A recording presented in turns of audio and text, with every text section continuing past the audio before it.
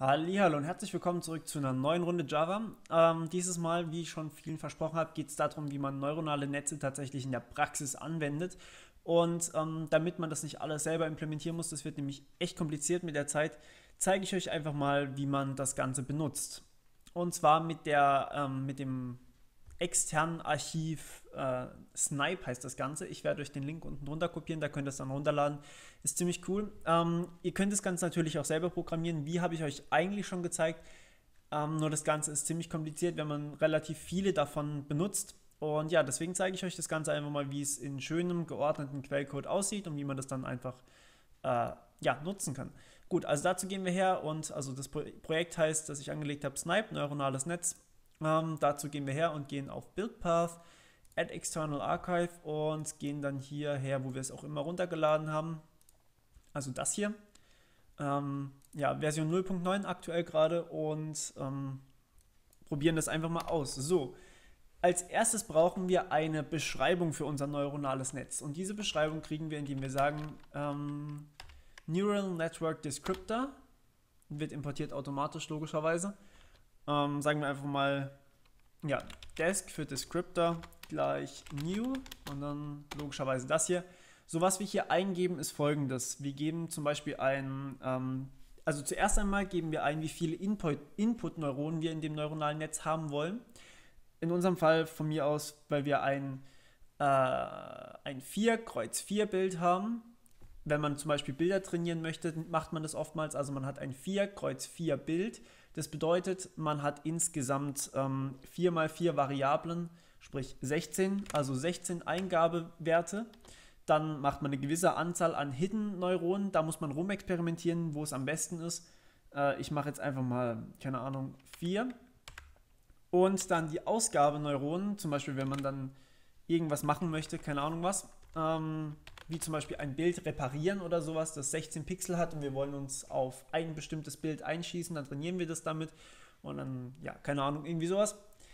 Ähm, und dann setzen wir bei dem Descriptor noch, was wir für ein Neuronennetz haben wollen, beziehungsweise wie das Ganze gelernt werden soll.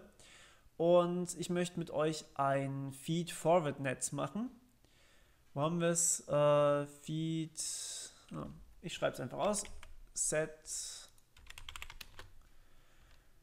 äh, Settings, Topologie und dann haben wir hier mehrere Aus, äh, Auswahlmöglichkeiten. Hier ein Hop-Field with Shortcuts, Complete Connection. Complete Connection wäre, alles ist mit allem verbunden, also jedes in dem Anfangs ist mit jedem Hidden-Neuron und jedes Hidden-Neuron mit jedem Endneuron und jedes Endneuron mit jedem Anfangsneuron. Ähm, das braucht man eigentlich relativ selten. Ihr müsst tatsächlich Ahnung haben, welches Netz ihr für welche, äh, welche Art von Problem benutzen wollt. Das ist nicht immer dasselbe. Ähm, neuronale Netze trennen manchmal ähm, wenn ihr euch das Ganze zweidimensional darstellt. Ich zeichne das kurz mal. Ähm, genau, hier. Wenn ihr jetzt, sagen wir mal, ein, einen Bereich von Werten habt, dann trennen manche neuronalen Netze so, zum Beispiel. Also das sind dann solche Trenn-Hyperebenen sozusagen, wenn ihr mehr als zwei Dimensionen habt. Und andere neuronale Netze machen dann sowas hier, die äh, legen Ballungsräume fest, also quasi Punkte von Räumen, die hier drin liegen. Und je nachdem müsst ihr dann eure Lernmethode bzw. alles Mögliche eigenständig lernen ähm, bzw. anders halt setzen. Und dafür sind diese verschiedenen Settings hier da. Es gibt ganz, ganz viele. Ich zeige euch, wie gesagt, nur, wie man das Ganze so grob mal lernt. Aber meistens werdet ihr ein Feed-Forward-Netz haben, deswegen werden wir auch das jetzt gerade machen. Okay, ich nehme einfach mal an, ihr habt, wenn ihr so weit gekommen seid, Ahnung, was ihr da für ein Netz haben wollt. Und ich zeige euch bloß noch, wie man das praktisch dann eben auch benutzt. Okay, äh, ein neuronales Netz selbst brauchen wir dann auch noch, nämlich das Neural Network. Jetzt haben wir den Descriptor hier, jetzt brauchen wir das Netzwerk, Netzwerk selbst. Schreiben wir einfach mal Netz ist gleich New, ups, äh, Neural Network hier. So, da kommt der Descriptor rein, also Desk. Und hinten dran logischerweise das Semikolon nicht vergessen. Ähm, und ja, dann brauchen wir neue Trainingsbeispiele, denn jedes neuronale Netz will echt enorm trainiert werden. Ähm, und diese Trainingsbeispiele, die kreiert man in diesem ganzen äh, Paket mit Training Sample Lesson. Und da ist es wiederum egal, was ihr hier für ein Feed-Forward-Netz habt. Achtet bloß darauf, dass ihr nicht overfittet. Das heißt, wenn ihr zu viele Beispiele habt, dann seid ihr zu spezifisch für die Beispiele und könnt nicht mehr gut generalisieren. So, und jetzt gerade fällt mir auf, dass es ein bisschen viel wird, wenn wir hier 16 Dimensionen haben. Äh, deswegen werde ich jetzt einfach mal hier auf äh, 4 runtergehen, wenn das nicht sogar schon zu viel ist, hier mal auf 2 und dann auf 4. Ähm, und dann können wir auch uns eine überschaubare Lektion ausdenken. Eine Lektion hier. So, ist gleich new. Ähm, so, und jetzt haben wir hier bei der Training Sample Lesson wenn wir hier drüber fahren, sehen wir, okay, wir sehen es nicht, es steht einfach ARC 0 und ARC 1 da, blöde Benennung. Ähm, ja, also ARC 0 sind die Eingabewerte, sprich, wir wollen hier vorne haben, ähm, was wir für Eingabewerte bekommen und was wir hinten für Ausgabewerte gerne hätten. Also zum Beispiel sagen wir hier ein New Double ähm, ähm, wir brauchen zwei Dimensionen, so ist es vorgegeben und dann brauchen wir hier eine geschweifte, upsala, eine geschweifte Klammer und müssen jetzt hier reinpacken, was wir da gerne drin haben wollen. So, der erste Wert gibt uns an, also ich mache hier mal, ich glaube ich lagere das aus, sonst wird das echt unübersichtlich hier. Ähm,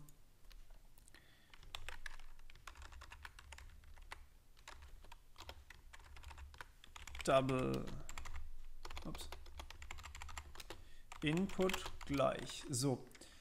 Ähm, jetzt wollen wir hier drin haben, was für Inputs wir haben. Also, das erste gibt uns an, welche, ähm,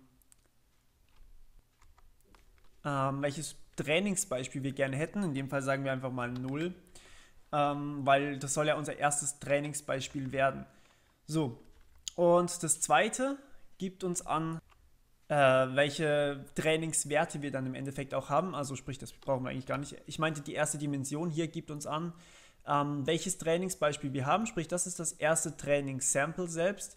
Und was hier drin steht, ist quasi die Eingabewerte von den Neuronen. Also wir brauchen jetzt hier drin vier Werte, die sozusagen diese Eingabeneuronen hier darstellen sollen.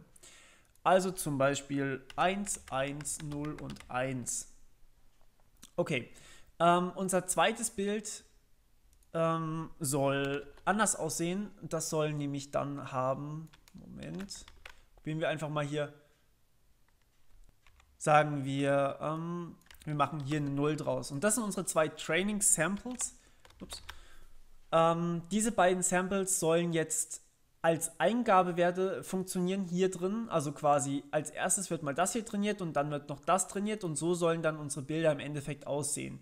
Äh, ihr seht vielleicht, dass hier 1, 1, 0 äh, so ein bisschen die Richtung angibt, in die wir wollen. Hinten ist es so nicht ganz eindeutig. Gut, wir geben jetzt also das Input hier rein und brauchen jetzt noch das, was wir als Ausgabe hätten gerne. Ähm, als Ausgabe hätten wir gerne Output. So. Ähm, als Ausgabe hätten wir gerne die Belegung von den Neuronen hier hinten. Das heißt, für diese Eingabe hier und für diese Eingabe hier hätten wir gerne diese Ausgabe, also dafür hätten wir gerne diese Ausgabe und dafür hätten wir gerne diese Ausgabe. Okay, also sagen wir hier einfach mal, wir hätten hier gerne alles auf 1 stehen und hier hätten wir gerne das hintere auf 0 stehen, weil das irgendwie das Falsche ist, weil wir hier hinten unbedingt eine 1 haben wollen. Sowas in der Art. Und jetzt sagen wir hier, okay, wir wollen den Output haben. Gut, und damit haben wir unsere äh, Lektion sozusagen erstellt. Jetzt geht es daran, dass wir ihm die Lektion auch noch beibringen müssen. Und ähm, das tun wir, indem wir sagen, ähm, wir schauen erstmal vorher nach, wie es denn aussieht. Also ich würde sagen, wir bauen hier ein paar Ausgabewerte ein, sagen äh, sysout und schauen, was für einen Error wir jeweils haben. Und sagen, okay, der Error, den kriegen wir, indem wir sagen Error Measurement Punkt get und jetzt könnt ihr euch hier einen aussuchen. Ähm, das ist der absolute Error, das ist die Wurzel, also der äh, Durchschnittserror und so weiter. Da gibt es halt ein paar. Äh, ich nehme ganz gerne eigentlich den hier, weil der macht auch am meisten Aussage darüber. Also der normalisiert sozusagen den Fehler über alles drüber. Ähm, den Error, wenn man jetzt das Netz anguckt und wenn man das Trainingsbeispiel angucken. Jetzt schauen wir uns den Error mal vorher an. Ja, der Lesson war gerade abgeschrieben von dem, was hier vorgeschlagen wird und das Ding heißt auch bei uns Netz, nicht Net. So. Ähm, also wir gucken uns den Error vorher an, dann trainieren wir das Ganze mal. Netz. Und jetzt gibt es hier die Train, upsala, Train Back Propagation of Error Funktion. Die möchte von uns erst einmal die Lektion haben und dann möchte es von uns äh, haben, wie oft wir das gerne machen würde, also die Lernrate. Äh, nee, die Lernrate ist das dritte. Ähm, das zweite sind, wie oft wollen wir tatsächlich diese Lektion da durchlaufen lassen, damit das endlich kapiert. Sagen wir einfach mal, ähm, meistens macht man da was relativ Hohes. Upsala, was ist denn jetzt los? Ähm, sagen wir einfach mal, wir wollen sie tausendmal durchlaufen lassen. Das sollte für den Anfang ausreichen und nicht mehr groß viel Verbesserung bringen. Und jetzt sagen wir hier, okay, wir wollen eine Lernrate definieren. Also wie, wie stark nähern sich die äh, Samples an. Eine 1 wäre, sobald es irgendwas sieht, ist der Aus Ausgabewert sofort das Neue, also sofort drauf eingeschossen. Ähm, wir wollen jetzt hier vielleicht was Kleineres, zum Beispiel 0,2 oder sowas. Wobei 0,2 schon relativ hoch ist. Okay. Ähm, und wenn wir das jetzt laufen lassen, dann schauen wir uns danach nochmal den Fehler an, wenn wir die Lektion mit dem vergleichen hier. Und vergleichen das dann einfach mal. So. Also ich würde sagen, das können wir schon mal starten. Und ja, zu, am Anfang ist der Fehler hier insgesamt 1,59, also quasi extrem hoch. Und danach haben wir einen Fehler von 0,026, also wirklich gering sozusagen. Ähm, und wenn wir jetzt so einen geringen Fehler haben, dann können wir doch einfach mal tatsächlich, also das war jetzt der Trainingsbereich hier, jetzt sind wir fertig mit Trainieren. Jetzt wollen wir tatsächlich mal für einen echten Eingabewert den Ausgabewert berechnen lassen. Sprich, das hier fällt weg, wir haben nur noch den Input. Und äh, das tun wir, indem wir sagen, okay, ähm, Netz, bitte propagier uns doch mal was. Und zwar propagate, das bedeutet quasi ausführen einfach. Ähm, und zwar hätten wir gerne hier einen, äh, einen Wert, new double. Ähm, so. Und jetzt geben wir hier einfach mal ein, was wir hier als Wert haben wollen. Das wäre dann, keine Ahnung, zum Beispiel 1, 1, 1, 1. Mal gucken, was dabei rauskommt. Ich weiß es wirklich selber nicht. So, und äh, diese Funktion, die liefert uns logischerweise den Double Output hier zurück. Das heißt, wir brauchen hier tatsächlich auch den Ausgabewert gespeichert. Out gleich das hier. So, und jetzt schauen wir uns das einfach mal an, was da drin steht, würde ich sagen. Ähm, dazu sysout und out. Ich weiß nicht genau, wie die ToString-Methode von einem Double Array aussieht, muss ich ehrlich zugeben. Ähm, schauen wir uns das einfach mal an. Okay, sie sieht schlecht aus. Gut, das heißt, wir müssen hier tatsächlich mal was Aufwendigeres machen zum Ausgeben.